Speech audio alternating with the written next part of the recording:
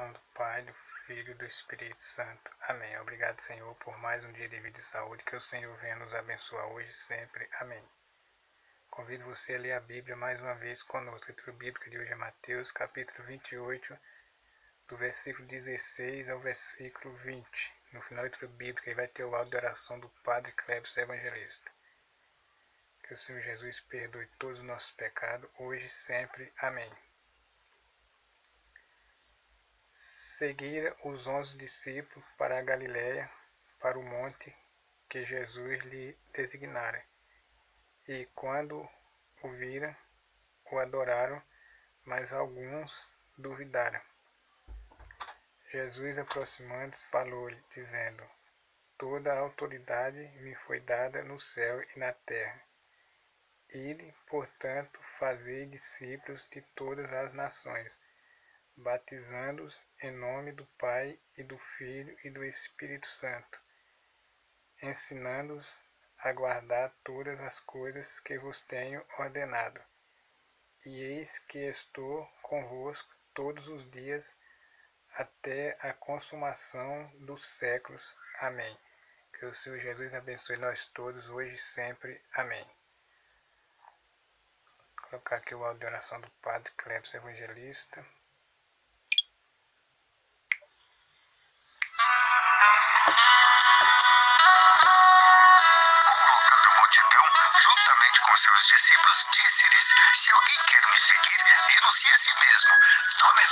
Siga, porque o que quiser salvar a sua vida, irá perdê-la.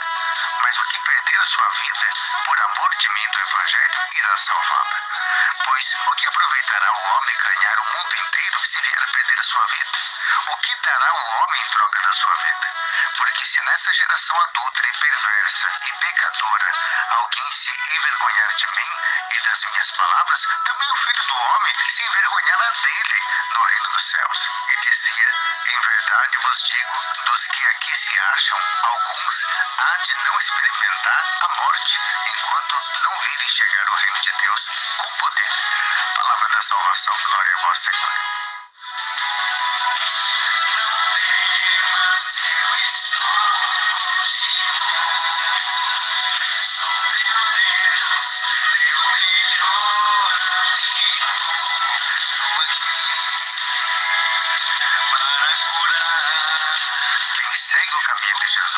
Não pode esquecer de que está perdendo a sua vida para esse mundo. Ah, gente, há uma tendência muito grande, muito grande de queremos assim ganharmos a nossa vida, né? Aproveitando o mundo, vamos, o importante é aproveitar. Mas a palavra de Deus, ela vem nos ensinar de que nós devemos ganhar as coisas de Deus, ganhar a vida passa, tudo passa. Se nós tivermos uma meta, um objetivo fito na vida eterna, nós vamos viver nesse mundo de uma forma de que muitos vão olhar e dizer, poxa, mas ele não está aproveitando a vida, está renunciando tantas coisas. Pois é, renunciamos aquilo que a gente sabe que é passageiro. Eu fico pensando que se eu não acreditasse na vida eterna, jamais seria padre. E se você não acreditasse na vida eterna, talvez não faria tanto bem para as pessoas que talvez nem merece. É ou não é verdade? Mas a gente faz o bem, até mesmo as pessoas que a gente sabe que estão falando mal de nós, que não, que não merecem tanto, abrindo aspas aqui, porque nos recomeçar é o Senhor. Tem muitas coisas nesse mundo que a gente faz porque a gente sabe que é um preceito divino. A fidelidade, o amor ao próximo, amar inclusive o que nós chamamos de inimigos, a paciência, tudo isso é os olhos fitos na eternidade. Filho, a palavra de Deus hoje para a tua vida de fato é essa. Por amor de mim do Evangelho, diz o Senhor, nós devemos perder os prazeres desse mundo. É não querer ganhar o mundo, mas ganhar a eternidade.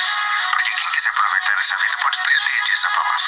Peça para o Senhor, para que o Senhor te dê coragem de viver essa palavra. Eu já estou aqui com as mãos estendidas para te abençoar, para que você possa viver essa palavra do Senhor. Amar até aqueles que não merecem, se for o caso, para que você possa ganhar a eternidade. Pai, Filho Espírito Santo. Amém.